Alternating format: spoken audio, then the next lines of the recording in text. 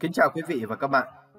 Mời các bạn nghe những thông tin cập nhật giá cà phê và giá hồ tiêu ngày hôm nay, ngày 26 tháng 11 năm 2020. Phụ TV kính chúc quý vị và các bạn ngày mới vui vẻ. Sau đây xin gửi đến các bạn những thông tin về giá cà phê trên thế giới.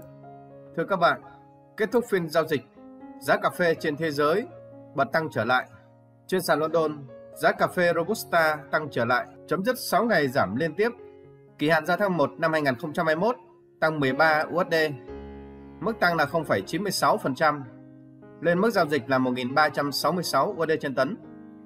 Ở kỳ hạn giao tháng 3 năm 2021 thì tăng 11 USD, mức tăng là 0,81%, lên mức giao dịch là 1.376 USD trên tấn. Các mức tăng nhẹ, khối lượng giao dịch duy trì ở mức trung bình. Tương tự, giá cà phê Arabica trên sàn New York cùng xu hướng tăng Kỳ hạn giao tháng 12 tăng 1,35 sen, lên giao dịch ở mức là 114,5 sen trên bao.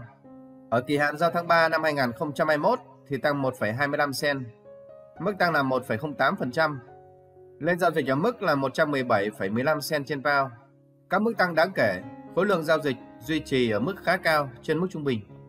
Về tình hình giá cà phê trong nước khu vực các tỉnh Tây Nguyên, ngày hôm nay giá cà phê đã tăng nhẹ trở lại, bình quân tăng 200 đồng trên 1 kg. Mức giá dao động từ 31.900 tới 32.700 đồng một kg.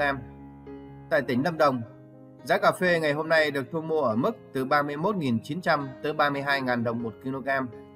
Tại huyện Lâm Hà và thành phố Bảo Lộc, mức giá là 32.000 đồng một kg và tại huyện Di Linh, giá cà phê là 31.900 đồng một kg.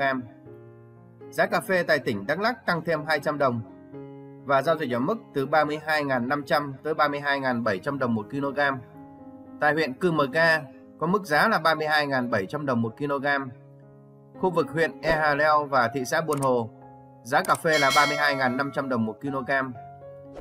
Giá cà phê tại tỉnh Gia Lai cũng tăng thêm 200 đồng và được thu mua ở mức từ 32.300 tới 32.400 đồng một kg.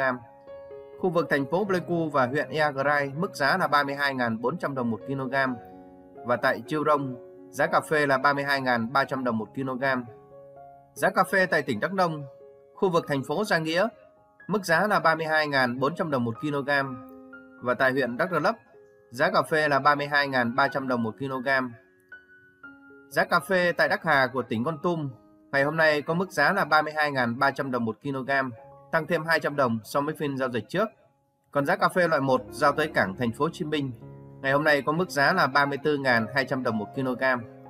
Về tình hình giá hồ tiêu trong nước khu vực các tỉnh Tây Nguyên và miền Nam, giá tiêu ngày hôm nay tăng thêm 500 đồng tại hai tỉnh Đắk Lắk và Đắk Nông. Mức giá giao động từ 55.000 tới 57.500 đồng một kg. Tại hai tỉnh Đắk Lắk và Đắk Nông, giá tiêu là 56.000 đồng một kg Tỉnh Gia Lai có mức giá là 55.000 đồng một kg, mức thấp nhất trong khu vực trồng tiêu trọng điểm. Tại tỉnh Bà Rịa Vũng Tàu, giá tiêu vẫn giữ ổn định ở mức 57.500 đồng một kg. Giá hồ tiêu tại tỉnh Bình Phước vẫn giữ ổn định ở mức là 56.500 đồng một kg.